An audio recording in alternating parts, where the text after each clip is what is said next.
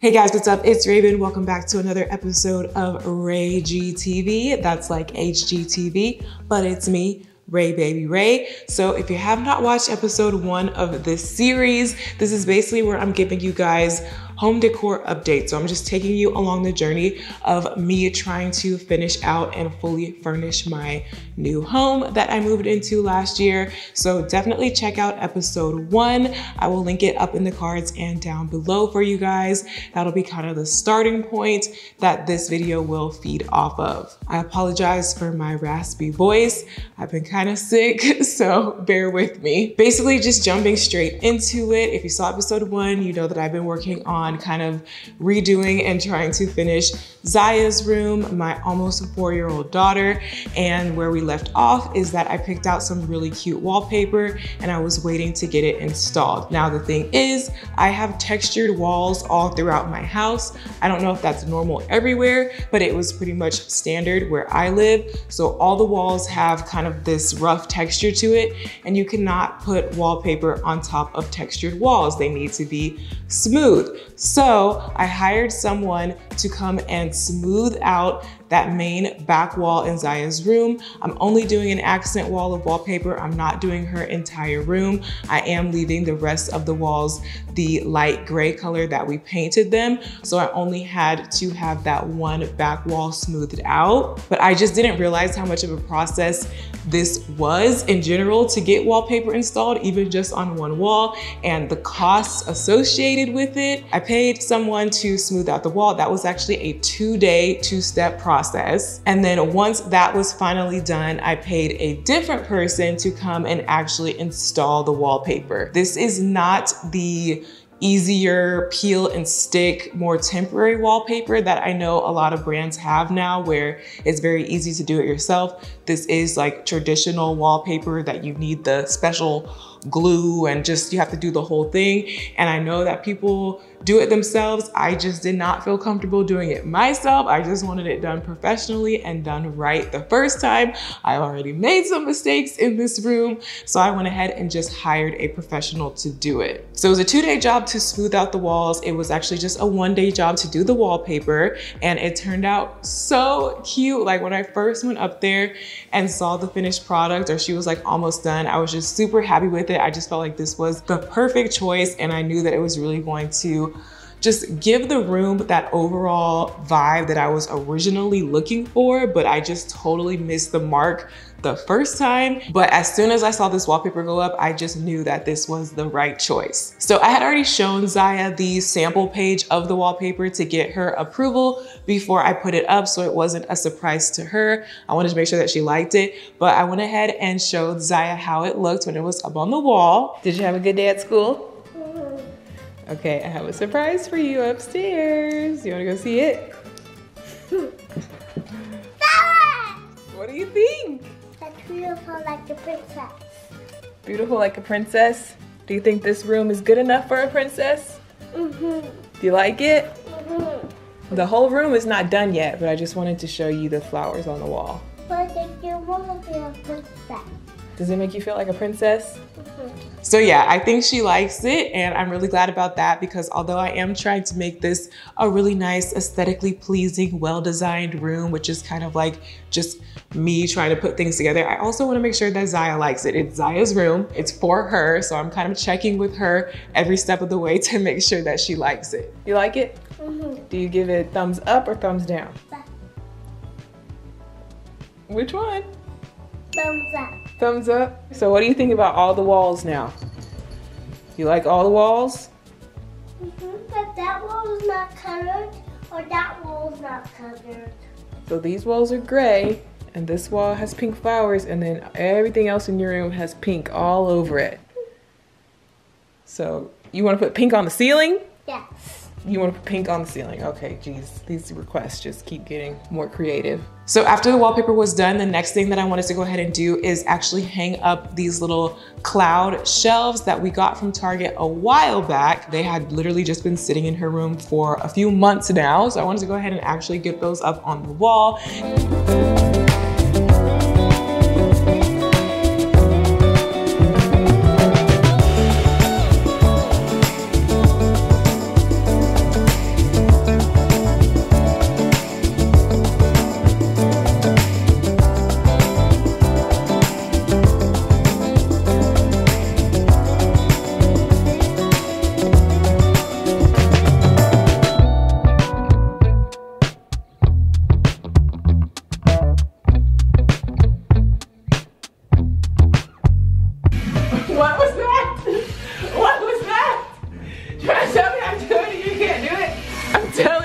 Not as easy as it looks. Let me see. It was literally cutting my finger trying to hold that on there. Put it on the sharp part. Put it on the, just hold it the very edge. I'm just trying to keep it straight. Do what now? Do what now? Try. That's exactly what I was doing. Ouch. See? You You're taking longer than I was. Uh-huh.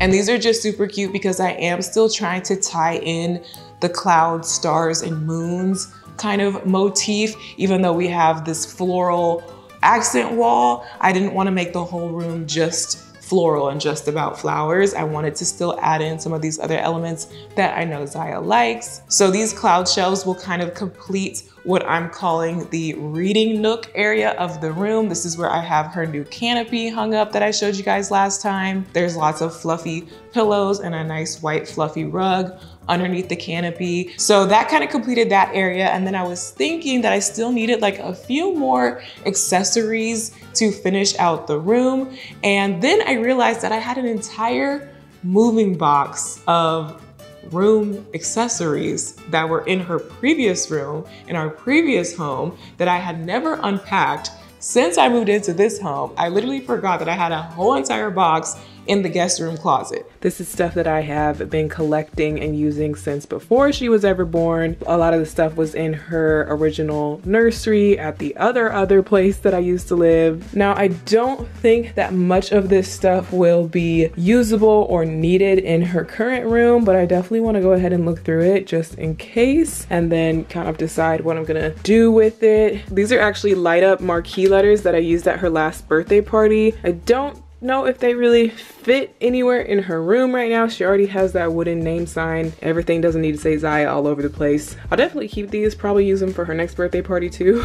Oh my God, I forgot about this. These are the things that I made before she was born, little DIY projects. These little jars. Who remembers this video where I showed you guys how I made these and how I set up her nursery before she was born? Oh my gosh. I don't even know what else is wrapped up in this paper nice white flower pot. Even if I don't use it in her room, I can definitely use this somewhere around the house. See, this is the problem with having things like in random closets throughout the house. You literally forget what you have. This garland was ordered for my baby shower and then I used it in her nursery and then I used it in her next bedroom and now it is destroyed. So this is now trash. My dream catchers, which were also from that same DIY video stuff that I made to go in her nursery. These actually probably can be untangled and still be like okay, but I just don't like have a use for them anymore. I'll probably put them in her keepsake box though because this is memories of when I was making stuff before she was born. This is a flower vine, don't need that. Just random fake flowers on stems. trying to see what else is wrapped up in this paper though. Um, Oh my god, I forgot how many like sets of things I have that spell her name. So here's another set of letters. These I glitterified myself. I mean, I'll probably keep these, like I said, maybe use them for a birthday party or something. I don't think I'm gonna put them in her room though. I'll find some use for them though. Oh, the bunny piggy bank. I forgot about this. This is still cute. I could probably put this in her room right now. Ooh, if I don't break it first. This mirror that has been in so many houses, so many apartments, traveled with me everywhere. I ended up spray painting it gold. It used to be brown. This might have a place somewhere somewhere in my house in general. This is like a treasure treasure chest, a time capsule. Another pink and gold porcelain, oh yeah, it's a piggy bank, unicorn. I don't even remember buying this to be honest, but I can probably put this in her room right now, along with the bunny. Oh, I broke! This was the other DIY animal jar thing, like the giraffe, but it broke off. Oh. Yeah, I definitely need to put this in her room. One of my friends from college hand painted this. This is Ziya's birthstone. Oh, and this is a really cute frame too. I forgot about this frame and I just painted this quote to put in there. But this is a really cute frame that still matches her room right now.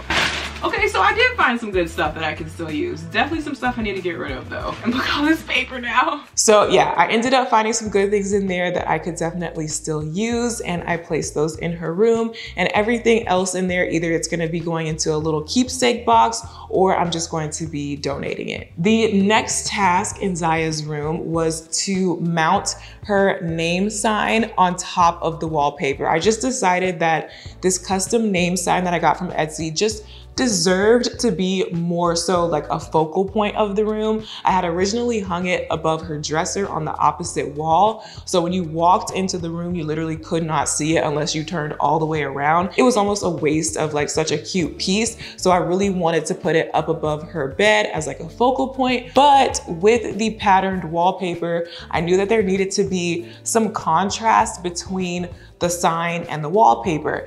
And I was glad that I went ahead and painted like the edges of this wooden thing black because that helped to give some contrast, but I felt like it needed even more contrast.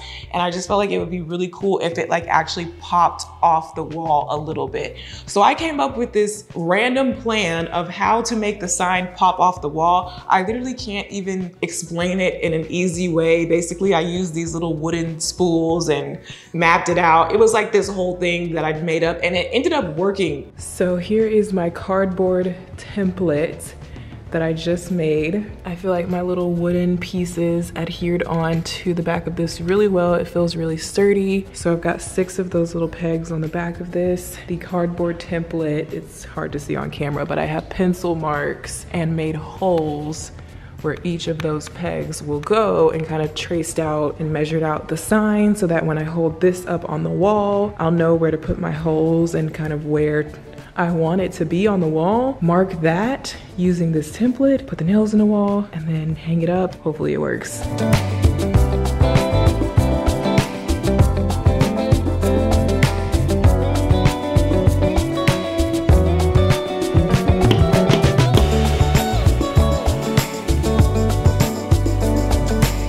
I was very surprised because I literally was just making this up on the spot. But my little method of mounting this on the wall ended up working really well. And I think it gives just enough shadow and contrast between the pattern and the actual sign to where it's still visible and it still pops, but it all like coordinates. So then a few days later, I decided to go shopping for some extra accessories. I had most of the stuff for Ziya's room, but there were still a few more things that I wanted to get. Okay, so it is like nine o'clock in the morning. I dropped Ziya off at school this morning and then I just got the urge the calling to come to like home decor stores and shop around a little bit. I'm not in a rush to, you know, find everything and get all the pieces that I need to like finish out Ziya's room or anything like that. But I do have a few pieces in mind that I know I want to get.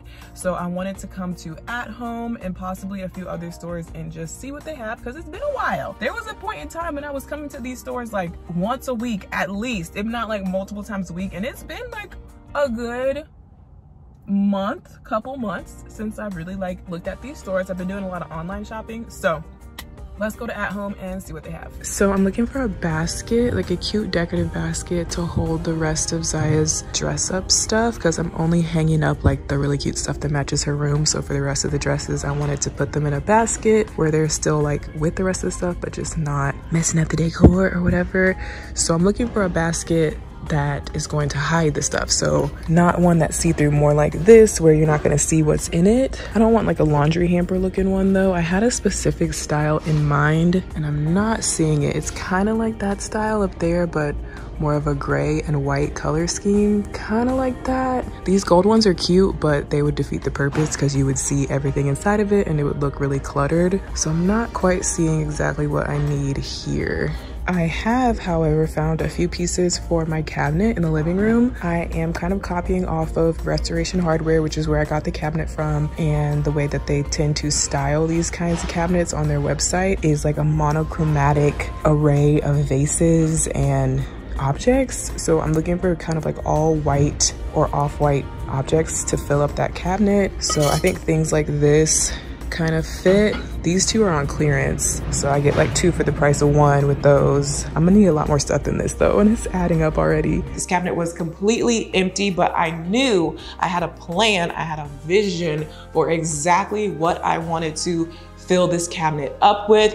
It's not gonna be used for like actual storage, for actual usable things. It's just for decor. So I ended up finding um, a few pieces to kind of start that off. Just a few pieces though. I definitely probably need at least 10 more items or more to actually fill up the cabinet and make it look complete, but that'll probably take me a while to collect all the different pieces. I'm probably gonna get some pieces from like home goods and maybe even check like thrift stores and stuff. So it's not done yet, but I already like really like the way that it's coming together. Speaking of the living room area, I also wanted to test out the way that my DIY artwork would actually look in here above the console table. So I told you guys about the console table in the last episode. And if you guys saw my DIY artwork video that I posted recently, that was kind of an epic fail. I'm not gonna lie. If you have not seen that video, go watch that video. Basically, I tried to make some art for my house it didn't really turn out good, but I still wanted to bring it inside and see how it would look in the space because I wanted to check if it was the right size and check if it was like the right general idea, like general color scheme, or if I even liked this style of art in the space. Mm, I, I just, I'm real iffy about it. I'm just not happy with it. I just don't think it's even the right style of art. Honestly, I feel like it's a little too busy, a little too modern in a sense. And I actually am thinking that I might try and paint over it with a completely different style of abstract art. So I'm thinking about maybe trying to replicate something like that. But I do think that this canvas is the perfect size. So I don't know, wish me luck. There's still a lot of work to do in here, but probably in the next episode, you guys will see, you know, more stuff.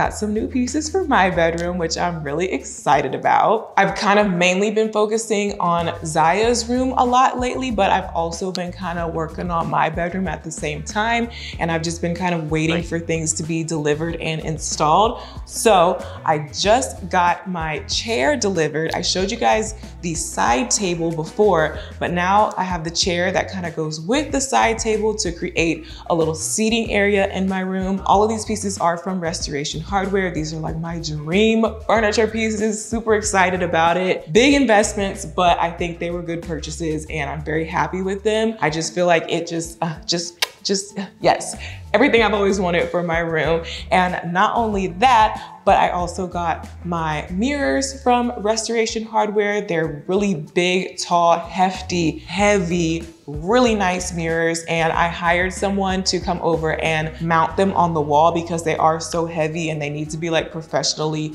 mounted. I don't want these things just being nailed up there and then end up crashing down in the middle of the night. So I hired someone to come and mount them and they look so good. I'm so happy with it. So the plan is to fill in the empty space above my bed with a really large piece of artwork.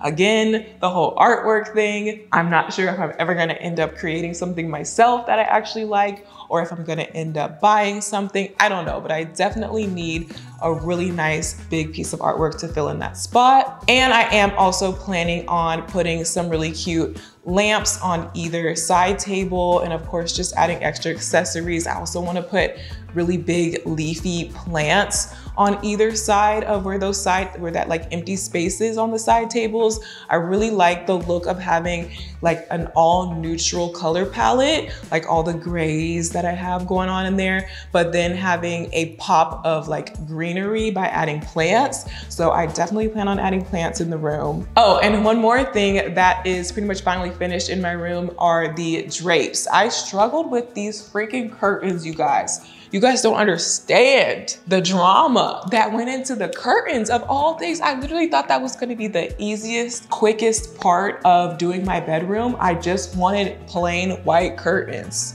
How hard is that? But I could not find the right color or size or type of gold curtain rod that I wanted. And all the like pieces that went with it. I could not find the right type of curtains that came in the right length and looked like, I, I don't know why it was so hard to find the things I needed. I guess it's because these windows are really tall. It's not a standard size that things normally come in. And I wasn't really prepared to do like fully custom drapery and stuff. Long story short, I finally ended up finding all the pieces and getting it properly like installed and I'm super happy with it now. I absolutely love this wall of windows in my room. It's like one of my favorite features of the house in general. So I just really didn't want to take away from it. I just wanted to add a little bit of something, obviously, because I need curtains for privacy. And I wanted to bring in the white and the gold that I have like repeating all through the room. So yeah, I'm really happy with it. Now that I have my side table, my chair, the curtains, the mirrors, I already already had my bed and the nightstands and the dresser. The room is really starting to come together. I pretty much have like all my main pieces. I am still missing my light fixture because I definitely want to switch out this boring ceiling fan that I don't even use the fan. I wanna switch it out with like a very glam statement chandelier type light fixture. I'm not exactly sure what. I have like a few in mind. I'll show you pictures, but I'm not like, I haven't chosen yet, but it's really starting to come together and I'm really excited because it actually looks like my vision. Like it's such a good feeling to actually have your vision come to life.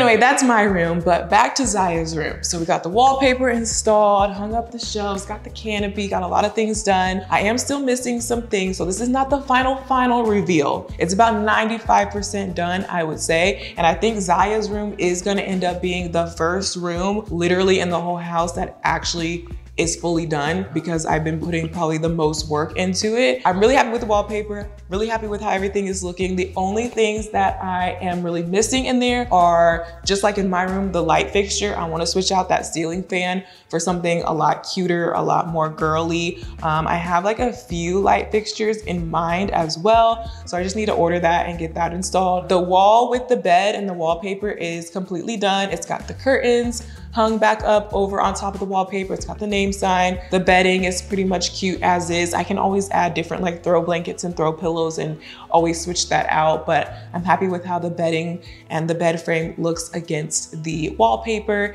and the nightstands and everything like that. Pretty much that whole side of the room is done. And then the only other thing is on the wall with the dress up area. I do still feel like the area above it does look a little empty, like it's missing something, but I just cannot for the life of me think of what to put there. I've asked you guys for ideas, I think already two times on like what I should put above the dress up area. And you guys have given me a lot of ideas, but just nothing nothing really clicked. Nothing really seemed like the perfect thing. So I may just end up leaving it empty until I find something. I mean, I don't have to fill up every square inch of the room, but it's just kind of like certain areas pop out as like it looks like it's missing something. So yeah, definitely still needs a few more accessories, a few more little finishing touches in there, but it's almost done.